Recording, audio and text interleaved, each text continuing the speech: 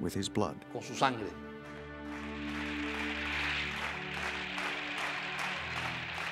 The next day, Fidel Castro declared for the first time that his revolution was socialist. Immediately, he ordered the arrest of at least 20,000 Cubans, identified as opponents to the regime. For the next several hours, he anxiously awaited news. At dawn on April 17th, 1,400 Cuban exiles landed at Bay of Pigs on the Zapata Swamp, a site chosen at the last minute. Fidel personally took over the island's defense.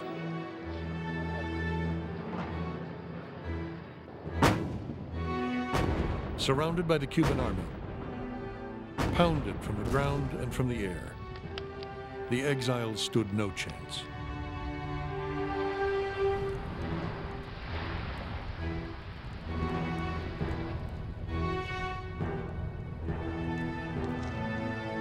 Seventy-two hours later, they surrendered.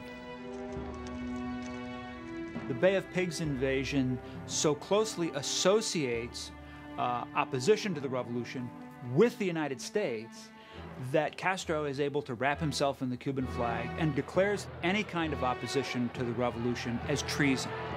And in most countries, treason is punishable by death. That was a very dramatic turning point, a very decisive moment. Castro's credibility, his strength in Cuba and throughout Latin America was enormously enhanced. His revolution at that moment was more consolidated than it had ever been before. He had done what no Latin American leader before him had ever done, and that was to defeat a really significant challenge mounted by the United States.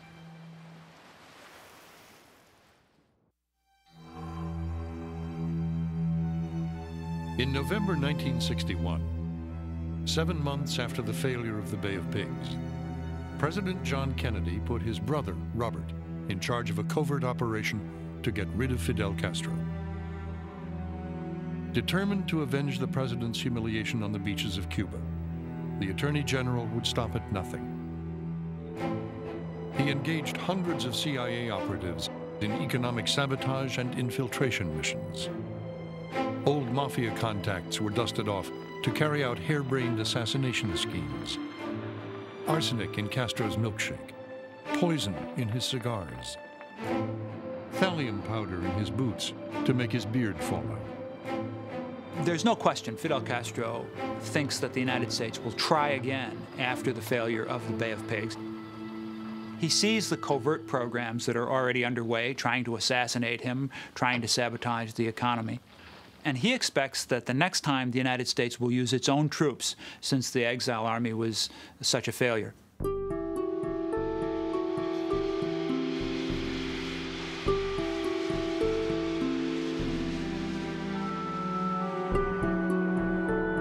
On October 14th, photographs by U-2 spy planes revealed that the Soviets were constructing ballistic missile sites in Cuba to house missiles that could reach the United States. Fidel had not wanted the nuclear missiles. The Cuban request was for tanks, surface-to-air missiles, and for some, perhaps some Soviet soldiers. But once Fidel got them, he saw their value, and he loved the fact that they scared the gringos.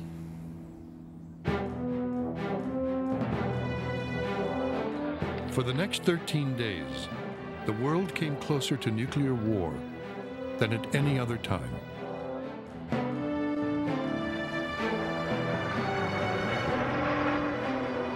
The missiles intended to protect Cuba had only further endangered it, as the island now faced the imminent threat of a U.S. invasion.